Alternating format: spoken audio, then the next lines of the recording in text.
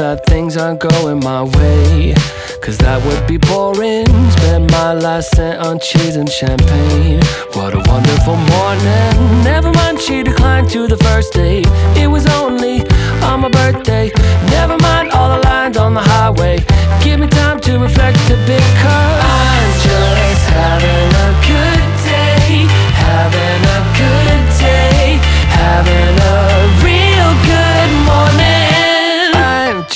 just having a good time, having a bad day, yeah. A real good morning.